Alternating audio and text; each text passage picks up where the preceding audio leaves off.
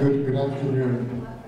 Um, on behalf of the uh, MacLean Center uh, the Grossman Institute for Neuroscience, Quantitative Biology, and Human Behavior, I'm delighted to welcome you back to the 2015 and 16 lecture series on ethical issues in neuroethics. Uh, this lecture series, as I've told you before, was organized by John Maunsell, who's here with us, and Peggy Mason from neurobiology, and Dan Sulmasy from the MacLean Center. Uh, I, I, have an announcement to make before we start. Today's session uh, by Dr. Warnke will be the first session in the winter quarter. We are not meeting next week. So the session that was scheduled for January 20th uh, has been uh, postponed. And so we will resume these lectures for the rest of the quarter uh, two weeks from today on January 27th with Professor Jason Bridges talking about mind, brain, and mechanism. But it's important, we'll try to send out uh, an email notice also um, on, on, this point, but no meeting next week. Uh, today we're delighted to welcome uh, Dr. Peter Warnke, uh, who's a professor of surgery and neurology and the director of the stereotactic and functional neurosurgery here at the university.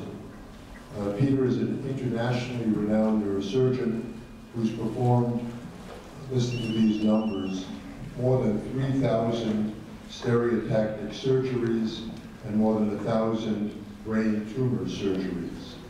Dr. Warnke is one of the few neurosurgeons in the United States who has experience with dopamine transporter imaging uh, and is studying uh, the use of such imaging to predict responses to deep brain stimulation in Parkinson's disease. Dr. Warnke also is researching the development of biological and minimally invasive treatments for epilepsy, movement disorders, brain tumors, and is studying the tumor physiology of medulloblastomas in pediatric brain tumors. Dr. Warnke is the associate editor of the Journal of Neurology, Neurosurgery, and Psychiatry, a journal which has one of the highest impact factors among neurosurgical journals. Today, uh, Dr. Warnke will talk to us um, on a talk entitled Behavioral Change in Deep Brain Stimulation. Please join me in giving a warm welcome to Dr. Peter Warnke.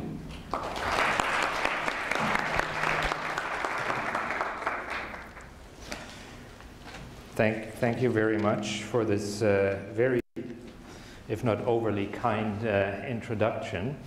And uh, I'd like to structure the uh, talk in predominantly three parts.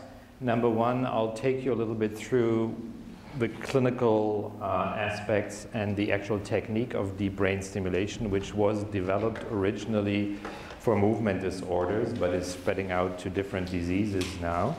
Uh, so you get a feel for the intricacies. Based on that, uh, I'll then show you some uh, data on the actual biological effects, including the network activation that we achieve with deep brain stimulation of very tiny structures in the brain, which will answer the question uh, that is behind the title. There should actually be a question mark because a lot of papers in the early 90s came out questioning whether actually there was a behavioral change induced by deep brain stimulation of deep subcortical structures. And I hope the data will uh, show you how overly naive that question actually was. And the third part actually will then focus on deep brain stimulation intended to change behavior, i.e. in psychiatric diseases predominantly depression and uh, OCD. And in all three aspects, I'd like to view this from two angles, the patient's perspective and the surgical neurologist's perspective who actually does perform the deep brain stimulation. And you'll see this perspective is entirely different. And in the end, hopefully we can then discuss whether and to what extent deep brain stimulation in what structures really does change behavior. And bear in mind, and I'll elaborate on that, everything changes behavior. Walking the sacred halls of the University of Chicago certainly does, I can tell you that. Uh, but all these patients take different drugs, video games change behavior, etc. So we have to put this into the right perspective. Uh, these are my disclosures, uh, just for the sake. So there's nothing new about deep brain stimulation or any kind of neurosurgery. There's this wonderful book some, uh, some of you might have read this, uh, and the neurologist knew this since decades. When the air hits the brain, and the title of the book continues, Life is Never Going to Be the Same Again. It's a memoir of a uh, Philadelphia neurosurgeon, and that is true. Any intervention we perform in the brain, introducing a little pneumocephalus by a craniotomy, will have some behavioral change. The point is, do we change behavior where we actually harm the patient? This is why I put this very fashionable book title next to it, or is this a totally tolerable side effect? And the other point about this book, of course, do no harm is very easy. If you don't do surgery, you don't harm. So, but you also have to be efficacious as well, and that balance is the delicate one that we have to strike. So, to start back deep brain stimulation was actually brought to clinical applications by the Grenoble group of neurosurgeons and neurologists who used it to treat one symptom of a disease, which is tremor. And they first started to uh, target the thalamus, then the globus pallidus, and then the subthalamic nucleus. And the reason for that was the old uh, DeLong model from Emory uh, showing these circuits, which actually, just to step uh, ahead, tells you already, as this is a circuit and each component is of course creating a network and contributing to a network, if you manipulate one of them, you will manipulate the others. Um, so you can see the circuit between the subthalamic nucleus, the thalamus, and the globus pallidum. And that is, of course, extremely important for motor coordination. And you see the difference in a normal person versus a Parkinson person, and the difference stems from the degeneration of the substantia nigra and the depletion of the uh, dopamine stores. Uh, but it tells you already there is a connection of these deep basal ganglia structures to the cortex. At that point in time, which was in 85, 86, nobody thought that this would ever change behavior, the ability of decision making, including moral decisions, etc., because this was all subcortical. And the idea was we are all very rational cortical human beings. Uh, far from so, I can tell you. But so this is the idea, and it then evolved through different randomized controlled trials from the thalamus being effective to the globus pallidus to the subthalamic nucleus being the most effective to treat tremor, but also bradykinesia and the side effects of the dopaminergic medication, which is L-DOPA-induced dyskinesias. So the subthalamic nucleus has really been crystallizing out as the most effective target. Interesting aspect of all of this is in all treatments neurosurgery has to offer, deep brain stimulation is the only one that has pure evidence class 1. It's really in multiple international randomized controlled trials. The only other disease that has class 1 evidence is epilepsy, and that actually is uh, limited to temporal lobectomy for temporal epilepsy. Uh, that's where we have crystal clear data. So it is very efficacious, and we know it lasts. The other problem was when this was started, that you would have the same problem with deep brain stimulation like you would have with dopaminergic medication. After years, you would run out, the effect would go down. That's not the case. Even 20 years, and we are now more than 20 years out in, in the European centers, uh, the effect on the motor symptoms is still there, and it's actually not diminished. But it is only treating the symptoms, it's not treating the neurodegenerative process. The substantia nigra degenerates. There are very good studies from the Max Planck group in Cologne on longitudinal studies on actually L-DOPA PET uh, showing that the L-DOPA content goes down continuously in an almost linear fashion. So we're not treating the neurodegenerative process, we're treating the symptoms. And we can do this, I've talked about this very effectively, uh, but you have to be extremely precise. And I'd like to look at this little five millimeter bar. So this uh, little structure, the subthalamic nucleus that we are targeting, has roughly the size of a squashed pea. Very, very deep inside the brain. So you have to hit this with ultimate precision. And actually, it's not the STN we are stimulating. That has been crystal clear from the uh, studies so far. It's actually the dorsal third of the STN, which is the motor part of the STN, which leads up to the interesting question of behavioral change because there are also other parts, particularly the anterior parts of the subthalamic nucleus, which are intrinsically related to actually behavior and even decision analysis. Uh, so this is where we put our electrodes, and in order to do that, you need, as I said, precision. So the patient is totally immobilized in a stereotactic frame.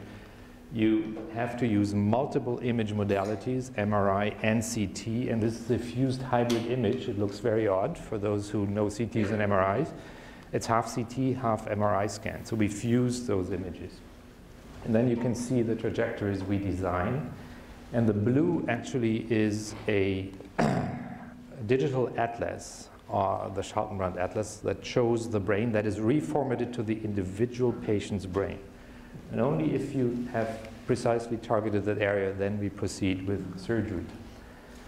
So that's, that's the technique we use. Uh, in this day and age. And this is all done in the patient completely awake because we are testing the patient, which is interesting because you could also say, with all these super precise imaging, you have an imaging target, you know exactly where to put this. And you can do direct targeting and you can see the subthalamic nucleus, or you can do indirect targeting just using the ventricular configuration of the patient but images can still be misleading. We do this in an awake patient and test the patient. So we see exactly when we hit these structures whether the tremor appears or doesn't appear.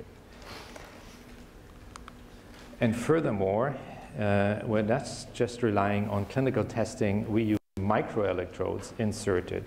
Microelectrodes which are so small you can basically not really see them with your naked eye which allow us to do single cell recordings. So we record from these structures, particularly from the subthalamic nucleus and from the thalamus, from single cells and can identify the number. We are putting actually electrodes in parallel down there, the tremor cells. So you can see a cell firing synchronous to the tremor of the patient.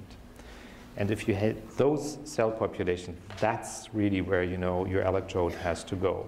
So this is treating very basic physiology, not an image or not a volume, but the actual area where the tremor is generated. And that pertains to Parkinson's disease, dystonia, MS-related tremor, all kinds of uh, movement disorders.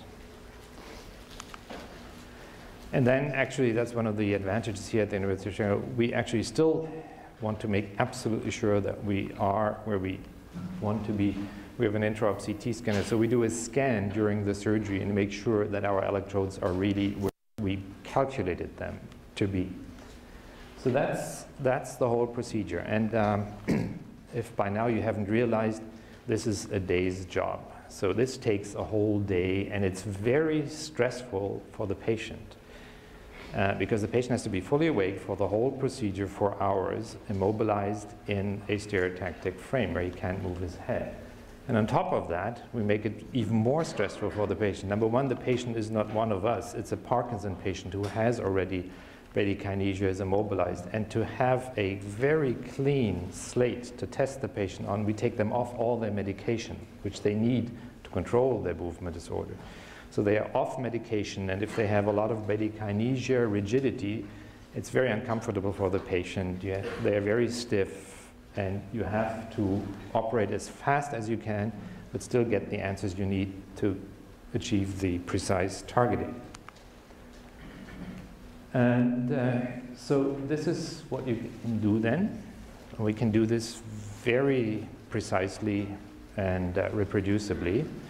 We've done uh, several hundred of these uh, procedures. Um, but the question, and that brings us back to the talk, is what are we really doing? We're, of course, stopping the tremor, and that's for the medical students in the OR and the, even the residents. That's the most fantastic thing. You see the patient shaking wildly on the table to the point that it's sometimes hard to insert precisely your electrodes. And as soon as you turn it on, and it takes about uh, one, two volts, through a tiny electrode, the tremor stops immediately, completely. And the patient usually, that's the first behavioral change you induce with DBS, gets completely euphoric. But right, then you turn it off and the tremor reappears within a second, basically. So that's nice, and this is what everybody focused on in the late 80s, early 90s, that we can stop tremors, we can relieve bradykinesia, we can reduce the medication for these patients. But are we not also doing this, rewiring the brain? Because we are stimulating the subthalamic nucleus, and by that, with all the axonal connections, we must have an effect on at least the supplementary motor area, on other cortices, etc.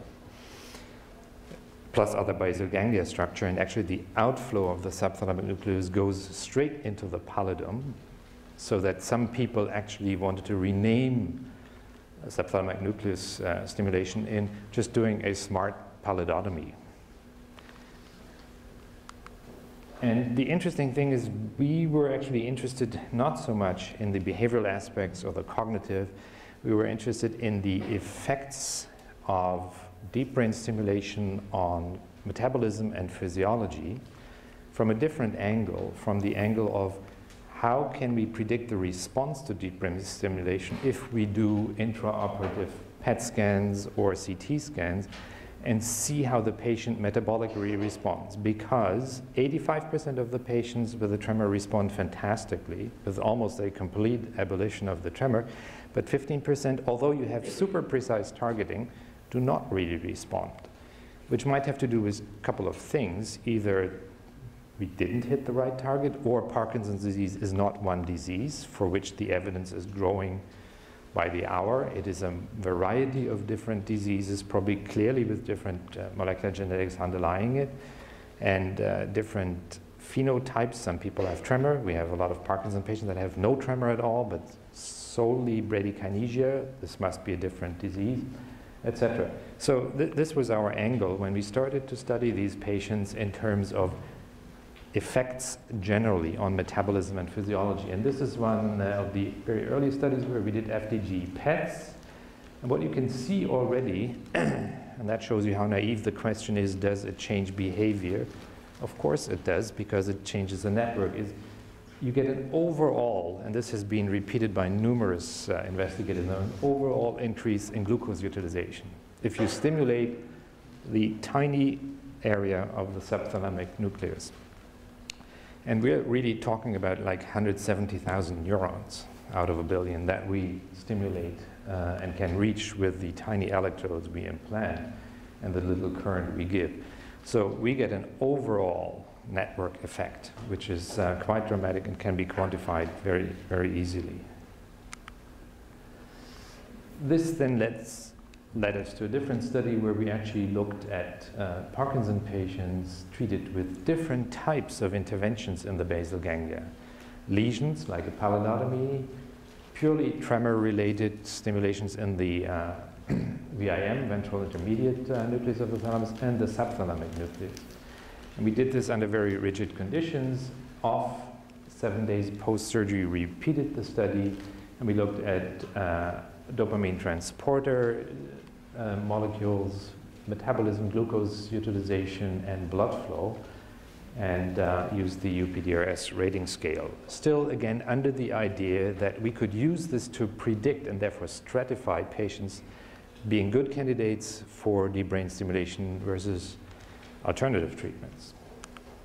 And the interesting thing is what we found is that if you look at the responders and uh, the effect of deep brain stimulation on the glucose utilization. You see sort of a staircase phenomenon. And these three um, bars uh, signify three different things. Uh, the red is pre-stimulation, before we did any surgery. The yellow one is, which has been neglected in the literature for almost 10 years, is the so-called microsubthalamotomy effect. We didn't stimulate, we just put the electrode in. That creates a tiny micro lesion, which already, in a lot of patients, stops the tremor in the OR immediately. It does come back because the brain can compensate that. And then the uh, greenish bar is on top of that, the stimulation turned on.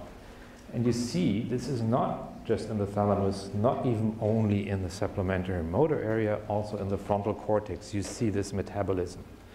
And there's actually a recent study from last week from Günther Deuschl's group in Kiel, who's one of the pioneers of this, who actually showed if you do not have this pattern, which we see in responders, they don't respond very well. We've shown that. But he actually looked at the cortical thickness of Parkinson patients in about 40 patients and predicted based on that, which is a biomarker of the cortical integrity in these PD patients, that if your cortical integrity was impaired, you would not have a good response. So it's not as simple as people thought that it's just stopping the tremor cells in the STN. You need to influence the whole network, and the network needs to be in a shape to be influenced, which is interesting. And if you look at the non-responders, non-responders means they didn't get a 50% improvement in the Unified Parkinson's Disease Rating Scale, which is the UPDRS. You see in the frontal cortex still sort of staircase phenomenon, but it's much, much milder, and not the same thing in the SMA and the thalamus. So these patients behave metabolically differently, have a different response to deep brain stimulation which is quite interesting. And then, and there was a reason, and there's a link to behavior and uh, cognitive effects. We looked at the actual really interesting thing because Parkinson's is a dopamine disease. It's a dopamine depletion disease because of the degeneration of the uh, substantia nigra. And one of the theories was that actually stimulating the STN, the outflow to the striatum, and that's where the actual dopamine depletion becomes effective for the Parkinson patient, would sort of energize the striatum and get more dopamine there. And uh, a little bit of a simplistic approach, but we wanted to look at this. Uh, we did this uh, quite some time ago with a uh, marker which binds specifically a radioligand to the dopamine transporter protein in the striatum, which uh, wasn't available until four years ago in the US, so we had to do this in Europe. And uh, this was our protocol. And the interesting thing is that if you look at pre-op 12 hours, everybody was studied off medication because I can modulate these images by the dopamine level in the brain easily. So you have to have very rigid conditions 12 hours off medication. You can see what happens. It's almost like with the glucose utilization, except the other way around. You see, just putting the electrode in without turning it on reduces the uh, expression of the DET uh, protein, and then stimulation reduces it further. And first, we were actually a little bit puzzled what does it mean?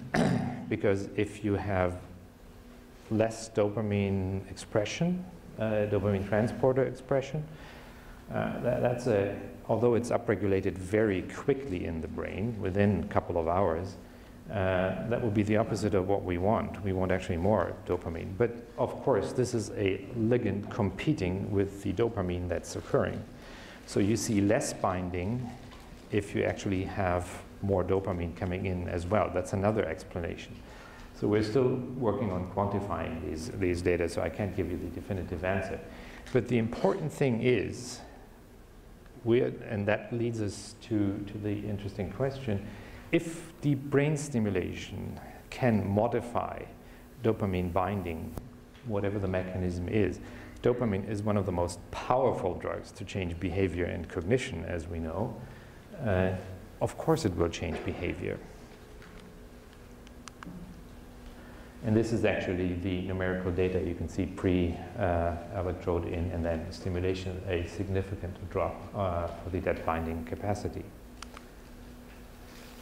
So, this is all nice and good, and we know that we can modulate networks, we can change this. And does that actually change the patient's behavior, mood, decisional capacity, etc.? And the patient, quite rightly, comes and asks, You are putting electrodes into my brain, allegedly very deep, not in the cortex. We're not stimulating the cortex like an epilepsy patient. Uh, but does that really make me a different person? which is a very legitimate question, but it's actually very, very difficult to answer because it brings us back to very ancient philosophy what is the person and the personality? But that's the question we are usually faced with, which is very interesting.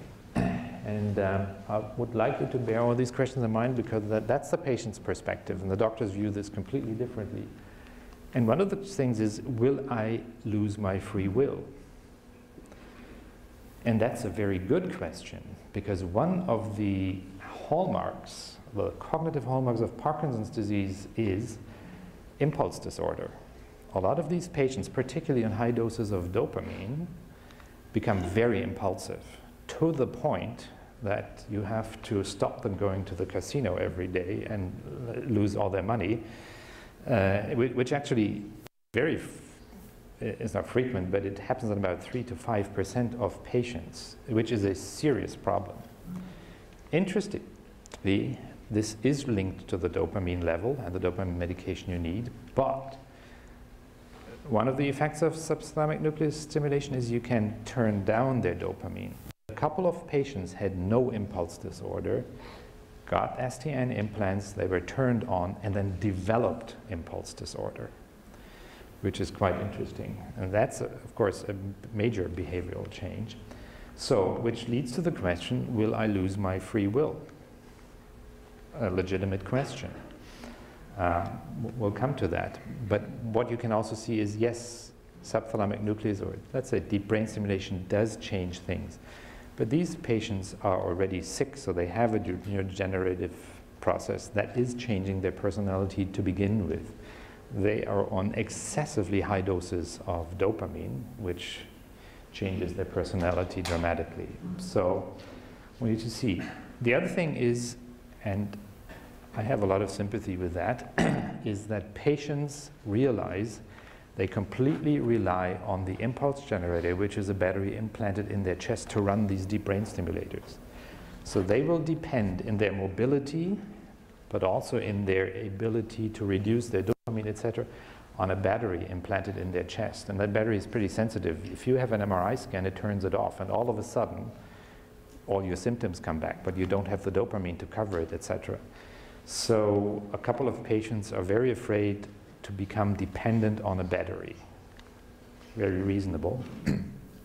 and then the point is, indeed, when the battery drains, which we try to prevent by checking them regularly. And when we see that the battery comes to the end of its life, we bring them in and change the battery. But what happens if the battery drains and you're on a vacation in Hawaii and you can't just get a new battery immediately? That, that's a legitimate reason of fear. And then the interesting question is, and again, there are some preliminary reports uh, on patients already is continuous stimulation of the subthalamic nucleus, not changing my, uh, my brain, the actual physical brain. What we can tell you is exactly for some patients who unfortunately died for different reasons, when the brain was examined uh, about three months, six months, even 18 months after deep brain stimulation, you get a gliotic scar, of course, surrounding it.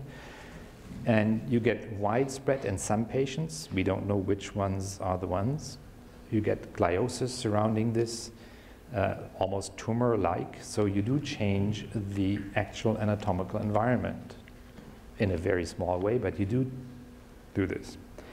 So those are the patient's perspectives, rightly so. the surgical neurologist sees this completely differently. So actually, the disease makes you already a different person. I mean, 90% of my patients uh, have already a reactive depression. If you have Parkinson's disease, you cannot move, you have this embarrassing tremor, you can't go to a restaurant because you spill your food all the time. That already makes you a different person, the disease per se. And on top of that, we put them on a gram of dopamine and more sometimes. And that changes your personality, your behavior dramatically as well. So the contribution of DBS might be almost negligible compared to what the disease does to your brain. That's the doctor's perspective.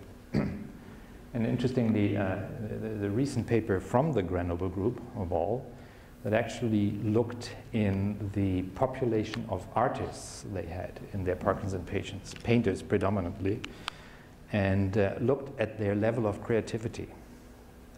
And after deep brain stimulation, their creativity went down.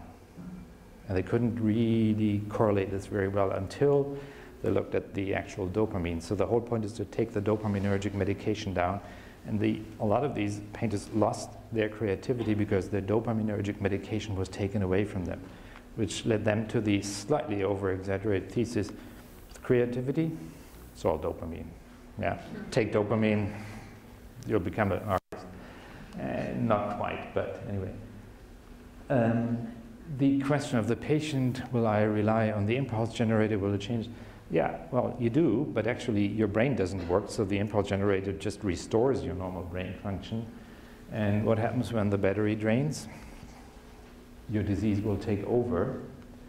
And of course, we are talking about a brain disease, and it's not, we know Parkinson's in particular is, of course, not just a disease of the substantia nigra, there are other systems involved as well. So we would actually wish if we could change your brain with the deep brain stimulation because it needs change, because it is actually literally dying uh, in front of you. And the symptoms uh, are proof of that. So, very different perspective from the patient's perspective, and that has to be uh, borne in mind. So, and then you can take the hardcore view. I, I love that. So, we can, this brings me back to my original remark, you can, you can change this dramatically and your level of serotonin and dopamine, and you can change it by the environment you put people in, yeah? Sacred Halls of University of Chicago, watch violent movies, uh, all of these changes things. So whatever you do will change and affect your behavior. The question is to what extent, and how is this seen in the overarching view of the disease you're suffering from? And what are you buying? So, and the interesting thing is, as I said, the disease itself changes the brain so dramatically. Uh, this is from uh, one of David Eidelberg's uh, from uh, New York uh, famous papers, uh, which follow along the lines that we wanted to establish with finding patients with a specific disease pattern which allows us to determine that they will respond to the brain stimulation. And he found in Parkinson patients two different metabolic patterns. You can see if you have an optimal response, and this is to pallidotomy actually, the pallidum is hyperactive, over using glucose, and that's causing actually uh, the symptoms. Whereas if you have the same patient, clinically, phenotypically the same patient, but not an overactive pallidum, you can do a pallidotomy and you don't have a big effect on the movement. So patients are already neurologically and neurophysiologically different, which is very important to bear in mind. Then, of course, the neuropsychologists kicked in because by then, in 2005, and from then on, so in the last 10 years, we had so many patients operated that we created a wonderful population to study. and uh, this is one of the first case reports uh, published in JNNP of all journals, where they found to be able to induce manic behavior immediately when they turned on the deep brain stimulator. And uh, actually, the first response of the neurosurgical community was, well, you probably put it in the wrong place. Actually, they, they didn't. it is exactly in the right place and you got a little bit of substantia nigra uh, stimulation, which you inevitably have to get. We're talking about a millimeter or two distance between the subthalamic nucleus and the substantia nigra. Actually, we deliberately go with our microelectrodes into the substantia nigra to find the specific response pattern to know exactly where it physiologically is. So that came a little bit as a shocking surprise that you can change behavior. The big problem is it is very, very difficult to disentangle behavioral changes induced by deep brain stimulation unless you look at immediate changes. Because if you look at a patient tested neuropsychologically before deep brain stimulation and then three months later with the stimulation on, you don't know what you're looking at because by then you have changed the medication dramatically and that has a big impact on behavioral aspects. Uh, you have changed the symptoms and the patient becomes euphoric because of that. Patients become mobile, more outgoing, etc. So you can only really, in a clean experimental setting, look at changes almost intraoperatively. And that is a totally artificial situation. You have a patient who's off medication, head is fixed in a frame. We don't know whether this really has anything to do with real life changes.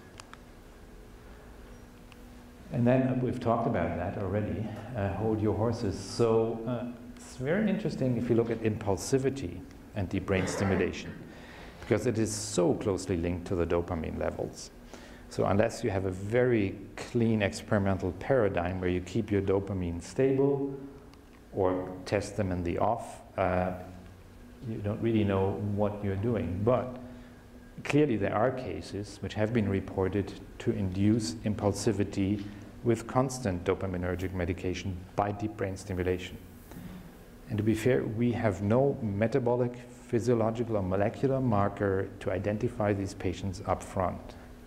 And there's a tragic component to that as well, and that is that you can also increase negative impulsivity in these patients. And these patients, as I said, are reactively clinically depressed, a lot of them because of their symptoms. And there have been reports that have shown that after deep brain stimulation, patients became suicidal. And some actually, unfortunately, did commit suicide. So that is something you have to bear in mind. In order, of course, to reduce that risk as much as we can, every patient has to undergo neuropsychological testing. And actually, depression uh, on the uh, test scores is a contraindication stimulation because you could potentially kick them over the edge. So, no doubt we can change behavior. Whether that relates to change in personality is a different aspect, and I'll, I'll come to that in a second. Interestingly, this is a wonderful paper, not the highest impact factor journal, I agree. Um, ethical safety of uh, deep brain stimulation, and they did a study on moral decision making in Parkinson's disease. So they actually confronted them with moral paradigms, and uh, it doesn't change the moral coordinate system. So I'm almost ten, tempted to say you cannot convert a Donald Trump supporter to a Hillary Clinton supporter with that, um, although some would wish.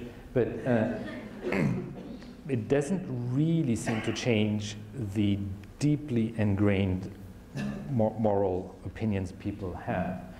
But that's a different thing from changing behavior, being more impulsive, more outgoing, things like that. Um, so the next question is sorry. Uh, as you see, we're now switching from the adult Parkinson patient to the pediatric population. And I'm doing this because we're talking about personality change.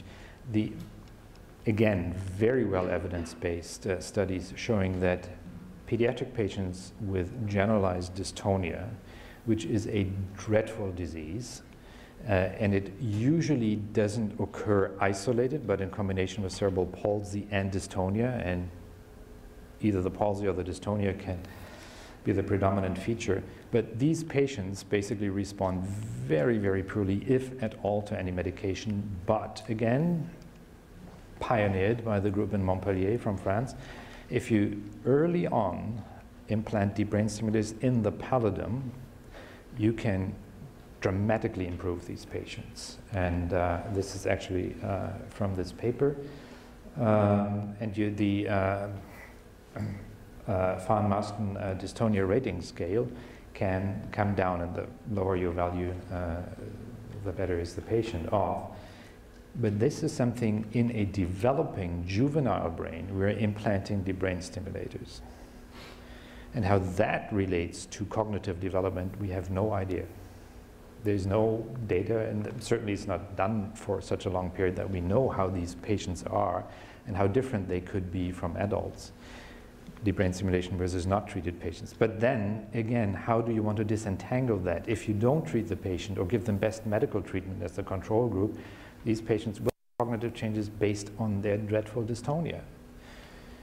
So again, it's the price you're willing to pay for symptom improvement. Um, but it's, it's dramatic, these patients. And the, the big fight we have, we're one of the very few centers uh, in the US that do pediatric uh, dystonia treatment because uh, you have to have a pediatric neurosurgeon as well. And unfortunately, I was forced to become one and take the training to do that. So we're doing this here, but the earlier you intervene, the better is the outcome. That is pretty sure. But the FDA allows us only to treat patients seven years and older, which and a lot of these patients is at a stage where the dystonia is so, has progressed so far that it's very, very hard to revert that. And this is uh, actually showing you how we do this. Uh, and this, again, shows you this is a prospective uh, control trial. This was published in 2009, Lancet Neurology. Again, just to corroborate my point, this is not just neurosurgeons trying something. This is real class one evidence. Okay, and then finally, uh, I'd like to focus a little bit on, uh, on the areas of deep brain stimulation where we really want to change behavior, which has the wonderful title psychosurgery, which has a very bad reputation for very good reasons, because it was abused brutally uh, all over the world, uh, predominantly in the UK with leucotomies, etc. So we stayed away for decades from psychosurgery, but of course, that, that was, of course, the other extreme. Uh, it is very clear that non-refractory depression, which means you have failed all drugs, all psychotherapy, and you have also failed electroconvulsive therapy, so there's nothing left for you, uh, is still a disease that is very malignant. A lot of these patients successfully commit suicide. So the idea to study this disease and find potentially a target to intervene, not an ablative target, but a modu modulation target for deep brain stimulation was intriguing. And uh, a um, Canadian uh, neurologist, Helen Mayberg, uh, who was in Toronto, is now at Emory, actually studied these patients very, very thoroughly with functional imaging and found that in this area there, subgeniculate CG25 these people with refractory depression, fulfilling those criteria, had hyperactive uh, CG25 areas. So there was a biological target for deep brain stimulation, which of course neurosurgeons who think in images and targets jumped on and said, fine, we can target that. That's no, no big deal. And see what happens. And uh, so there was a biological rationale to do this. But as I said, psychosurgery has a very bad reputation, and it's very interesting because when the neurosurgeons and the, I call them the Mayberg scholars, jumped on this, uh, they were warned by some psychiatrists who thought depression is such a complex disease. To reduce this to a pea-sized CG25 target is a terrible simplification, number one. Number two, depression is probably not one disease even if you take this subgroup of completely refractory patients. So you're oversimplifying. On the other hand, these patients were mostly suicidal, you have nothing else, and deep brain stimulation, that's something I should mention as well, it has an extremely low morbidity mortality profile. So then this went further. you can throw very expensive things at these patients, which unfortunately we can't do at the University of Chicago, 015 PET, but once we have the cyclotron, we can do this. You can look at the metabolic and blood flow activation and look at the connectivity with these techniques very nicely. The reason why most people use PET instead of MRI is once you have the electrodes in, you cannot do MRI scans properly. Number one, you're changing the impulse generator, but number two, you get artifacts from these electrodes, which if you want to measure things very close to this, it gets difficult. We'll get around this hopefully very soon because we've now developed some techniques to actually mathematically take this artifact away. Uh, so this then went further, and the next thing is that was sort of the response to the psychiatrist's critique of stimulating a small area is no, no, no, no, we actually stimulate networks. We just take sort of points where all these fibers, which we can nicely see on the MRI scan, this is diffusion tensor imaging, come together. So the big grand central station, that's where we put the electrodes and then influence networks. Great idea, but of course it's, you don't know what the widespread networks effects are. And the other thing is, this is a DTI image. I can change the color of this with the switch of a button and this is a theoretically, statistically derived image. It's, that is not really the representation of the fibers. And we recently had Ron Kikinis here from the Brigham, with whom we work now, uh, who has shown very nicely, depending on what algorithm you use, you can change this uh, dramatically. So it has to be seen uh, critically as well. And uh, then people went ahead and did a trial to put deep brain stimulators into the CG25. And if you see this, the medical therapy where there's neurostimulation, and you look at the PD94 score and other things, wonderful effect. These very, very sick patients had a significant response to the deep brain stimulation. But this was a non randomized, uncontrolled trial. That's important to bear in mind. Um, and the quality of life increased published in the American Journal of Psychiatry. And this then, of course, got the people with money interested, the companies, because we're talking about millions of patients uh, with refractory depression in the US. This is way more important than the few hundred thousand patients with brain tumors or aneurysms. This is nothing. This is a giant population. And then Medtronic and the people that make these stimulators got interested and said, this is what we want. This is a huge uh, profit source. And then they did a phase three randomized controlled trial, which was actually then to go right to the bottom, stopped by the FDA because it failed the futility analysis. So, in a randomized controlled setting, reproducing exactly the same surgery that was done in the uncontrolled trial, there was no effect basically. So, the concept was too simple. The problem with this is that actually the uh, uh, one of the uh, editors of the uh, Stereotactic uh, Journal of the American Society of Stereotactic Functional Journal is we had to write actually a, a letter to the NIH because these things then kill the field for a decade. It does all this really means is that CG25 is an oversimplified approach and that might not be the right target. But what the NIH, of course, concluded is deep brain stimulation in depression is nonsense, doesn't work. So if you want to do more research, it's going to be very, very hard. So we had to rectify this a little bit, that I think we need to revisit this in a very clear and scientific fashion and not jump to things because Medtronic wants to make money.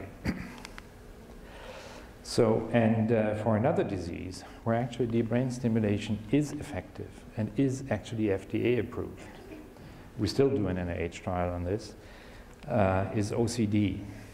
And uh, this uh, we would propose is the way to go forward. The trial is almost finished now.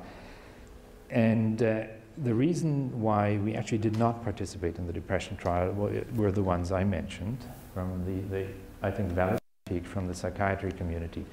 OCD is a very different disease. It is a very circumscribed behavioral disease to the point that if you watch these very, very sick patients, uh, it is actually it's a continuous spectrum with parts of Gilles de la Tourette syndrome where you almost wonder whether this is a real psychiatric disease or a basal ganglia disease, so bridging movement disorders. Anyway, it's a very circumscribed disease. We were very lucky to recruit Jon Grant from Minnesota, who's an OCD uh, expert, to work with us here. And so this is what we're doing right now. We actually implant these patients, and then we do sham DBS, active DBS, and look with FDG PETs at the network activation and see what the effects really are. And uh, I think for any kind of psychosurgery, to jump to non-controlled trials is not the right way. We prefer to do it this way. And actually, this is what we do. Coming back to the Grand Central Station, we're not looking at a just one tiny little target. We use wide spaced electrodes, go to the ventral striatum, and then we have these four contacts, and we can stimulate monopolar, bipolar. We can differentially activate large, uh, large areas, and hopefully by that, large networks.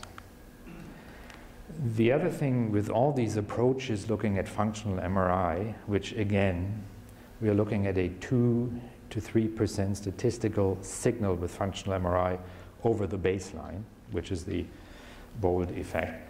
We don't even know whether it's overactivation or underactivation we are looking at, etc. So we don't know this. So this is, for example, a patient with a left hand tremor. And tremor is a nice symptom. You can objectively diagnose it. You can do accelerometry and quantify it, get alphanumeric data we don't really know. So you see over and under activation, and actually you see in the frontal cortex. So we are stimulating the STN because that's we can stop just the tremor cells. Maybe we should stop the uh, target the left frontal cortex. And actually, transcranial magnetic stimulation. There are some very good trials showing that if you do this, which you can do on a daily basis in Parkinson's patients, you can make them asymptomatic almost. Take the bradykinesia away, just stimulate the motor cortex, stun it basically. So we're not really knowing what biologically we're, we're, we're really targeting here. And the other thing is, a lot of people now are totally focused, and there's another depression trial going on in Europe to stimulate the uh, medial forebrain bundle. Uh, unfortunately, at my old institution in uh, Freiburg, uh, people completely rely on DTI images and use this to target and stimulate fiber tracts although these are statistically derived images of fiber tracts and we don't know how accurate they are. So whether you stimulate function or anatomy is, again, uh, one of the critical questions.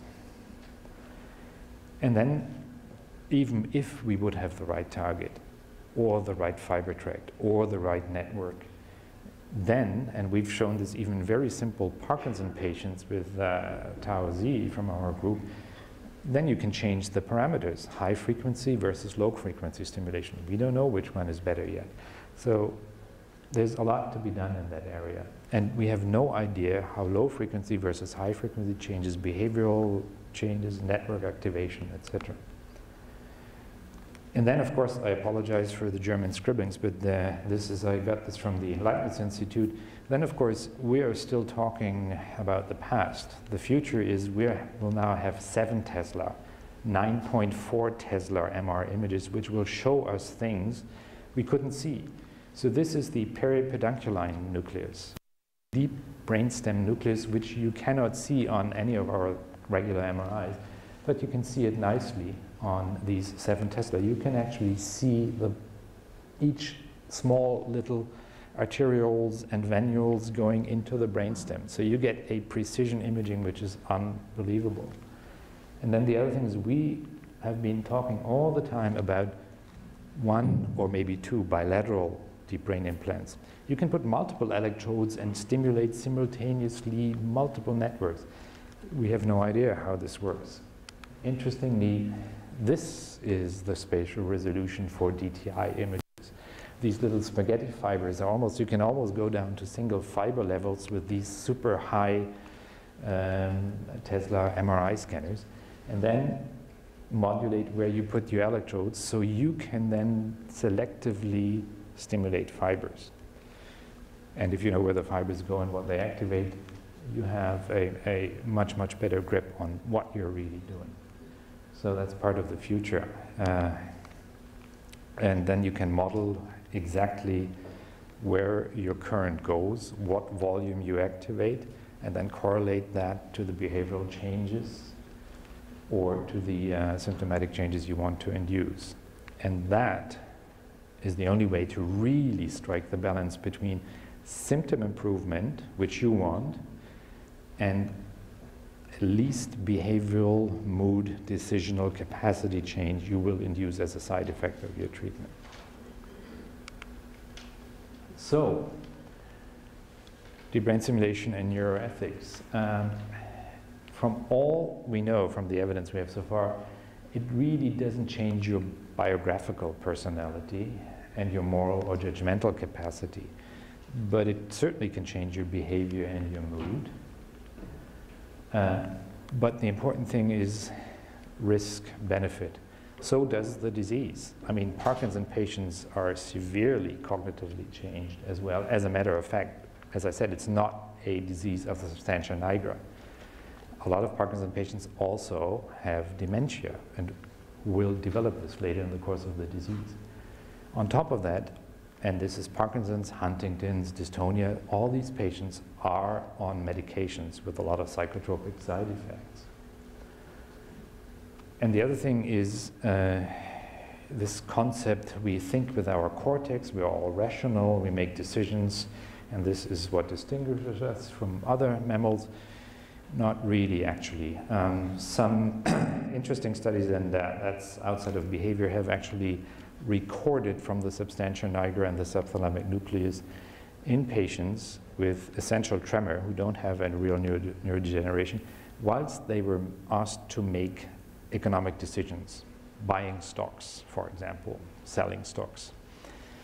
And you would be amazed what neuronal patterns you see from the uh, substantia nigra and the STN, how that influences their decision making. which partly explains the Wall Street crash, but anyway. Uh, so we are limbic people, and if the frontal cortex does anything, it probably modulates and controls our limbic system a little bit, but a lot of decisions are totally subcortical. So we're not as cortical as we think, and when we think, it's probably mostly subcortical, but uh, that, that has to be uh, borne in mind. And so I didn't give you an answer whether it changes behavior. I mean, I did give, it does, deep brain stimulation changes behavior, it changes mood, uh, it can make you more aggressive, more impulsive, any of this. But so does the disease, so does our medical treatment, um, and it has to be weighed, and that's, that's the important thing. And uh, this is a wonderful book from uh, Gerd Gigerenzer, who was the chairman of psychology here for a decade or so and he's now the uh, director of the Max Planck Institute of Psychology in, in Berlin. And uh, I think this is, and that doesn't only apply to DBS, it applies to all kinds of medical decisions, is really we have to weigh and first assess and quantify the risk that is associated with any procedure, um, and then inform the patient. And the best is not to give him probabilities most doctors don't even understand probabilities, but to give them real number scenarios, one in a thousand, that's something people can uh, get much better. So that's, I think, uh, where we stand right now. And of course, our debates in psychosurgery. Psychiatrists thinks we are crazy when we do psychosurgery. Um, neurosurgeons think psychiatrists are a little bit loopy anyway. So it depends on which, where you come from, which angle you use, which is very important to bear in mind as well. But uh, one thing is for sure, um, functional neurosurgery is going to move dramatically. And this is actually a Lancet paper from 1998. So in the past, we've been dealing with brain tumors and aneurysms. These are butterfly diseases on the spectrum of real healthcare problems we have. So the incidence of brain tumors is 7 per 100,000, and for aneurysms it's around the same. Uh, whether we stop treating brain tumors or not will not change the life expectancy of the American population, for example. It's diabetes, lung cancer. Th these are the real diseases. We're a very small exotic group. But if we start at uh, looking at neurodegenerative diseases, stroke, trauma, neuromodulation in the big style, we're talking about log unit different patient populations. And this is where we are moving. Now we have worldwide more than 300,000 patients with deep brain stimulators running around. And uh, we now have implanted the first uh, people with closed loop epilepsy systems where we put electrodes into the epileptic focus, connected to a uh, mini PC in, uh, in the skull that records automatically the EEG and once it finds an interictal pattern that predicts a, uh, a, a seizure, then starts the stimulation to stop the uh, seizure. So this is coming as a wave. And uh, we have, uh, when I came in 2010, uh, there was zero DBS, and now we're uh, doing uh, 60 to 70 a year, and every year we increase our volume by 40, 50%. So it's a big paradigm change in neurosurgery. Uh, but the important thing is Lars Leksell, who invented the gamma knife and one of the stereotactic frames. These things can also be abused. And if you don't know what you're doing, you can have the most sophisticated 7 Tesla MRI scanner. You can do a lot of harm, of course. And this is, uh, I think this is the summary. It's all about risk and benefit. And you need to have the informed, consented patient. Um, but it's not DBS only treats motor symptoms or the, it completely changes your personality. None of that. It does both and to a varying degree and probably different in each patient. Thank you.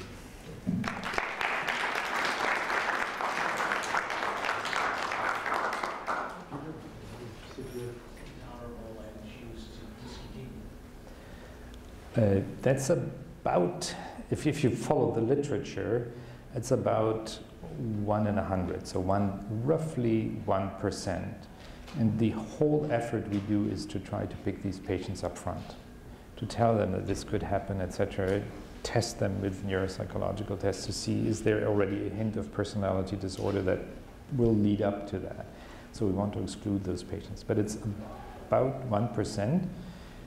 But of course, there is, it's probably a little bit higher because there are patients who deliberately come because of my gray hair and say, I don't want deep brain stimulation, but I want the old procedure.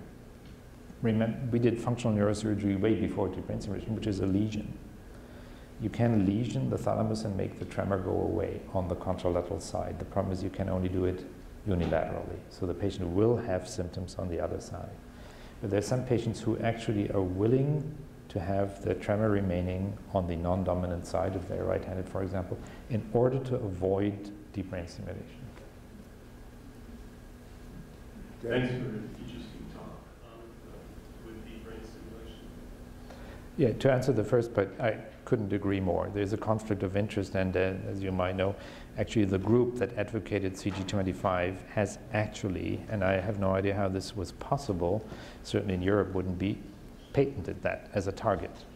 So you cannot do it unless you pay, fees and royalties to that, that group. They founded actually a company to do that. I think that, that's a the biggest conflict of interest I could imagine. And the other thing is, of course, uh, I didn't touch on this. Until this year, we had a major problem that is one single company uh, in the US that actually makes deep brain stimulators, which is Medtronic. So it's a complete monopoly. It's changing now because St. Jude's and Boston Scientific have systems as well, which hopefully make things better. But uh, if you look at the papers on deep brain stimulation, 90% uh, and more, if you look at the conflict of interest, show partly sponsored by Medtronic, etc. Except for the big uh, RCTs, uh, which strangely were run in Europe, but that's because it was developed in Europe. So there, there's no company involvement there, and they're all published in the New England Journal, etc. But I, I see this is a big conflict. The only thing to do is it takes a lot of effort to do this non-company sponsored. This is why we insisted the OCD trial is totally company independent NIH sponsored. And you can only do it as an RCT, particularly in psychiatric disease, which is open to that many interpretations. Company involvement is a no-go and you have to use public money. And the second part of the question was Oh, whether, it- whether it's being done in depression. Yeah, no, we're not doing any depression trials. Uh, we're trying to form a consortium. Plus, right now, CG25 is a dead target. I think we have to look at, at different things. One of the things is actually, I think, looking at fMRI is a, bit, a little bit too simplistic. We need more electrophysiological information. So one of the things is MEG, for example. But, but OCD has been FDA approved. F- OCD is approved actually not only for deep brain stimulation, but also for um, lesioning in the internal capsule in the ventral striatum, gamma knife, radiofrequency, because that has been shown also in uh, prospective control trials being effective. Thank you. Wonderful talk. Um, so, how, how often is cooperation and the capacity of the patient a barrier to having surgery since they have to participate as an awake individual? Yeah. For me, as a neurosurgeon, rarely because I exclude all these patients. So if the patient is cognitively impaired or even demented, with quite a significant uh, proportion of Parkinson patients are, they're excluded from surgery. I need a fully cooperative patient because what we do is we test the patient uh, during the surgery clinically. So he has to perform tasks, movement tasks, cognitive tasks, etc. Um, so I think those are all filtered out already, but I would easily guess from our movement disorder board meetings that we have that 25% of patients are not candidates just because of that.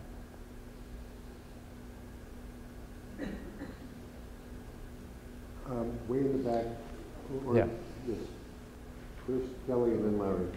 That that was wonderful. I just wonder, what percentage of your patients are on studies, IRB type studies versus just therapeutically doing your? Uh, Yeah, Parkinson patients are, uh, we have our own MJ Fox uh, funded trial, uh, so, but that pertains only to midline symptoms. It's a small subgroup. So 90% are just clinical indications. Uh, for psychosurgery, everybody's on a study.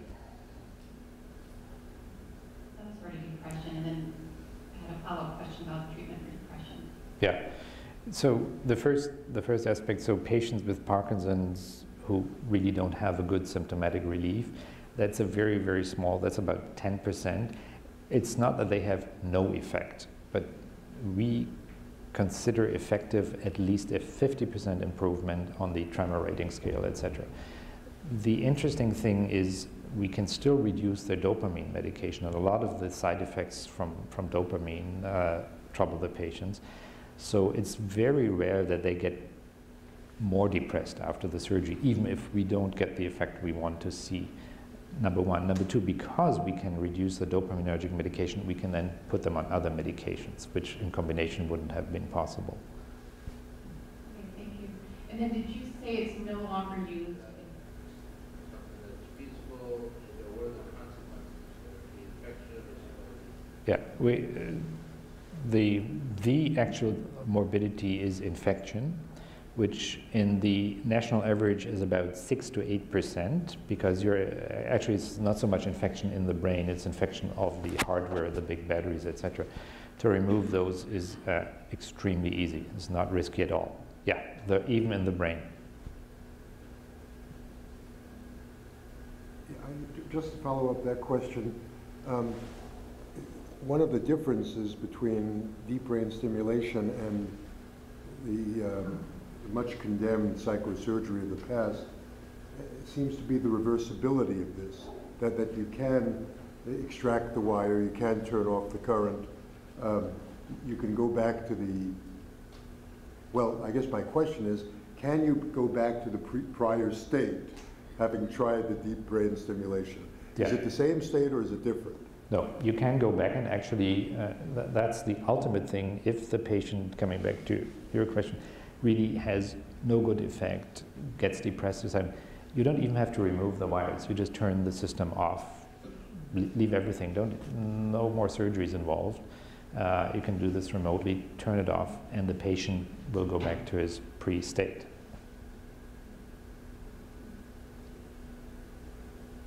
Well, no further questions. I want to thank you so much, Peter. My pleasure.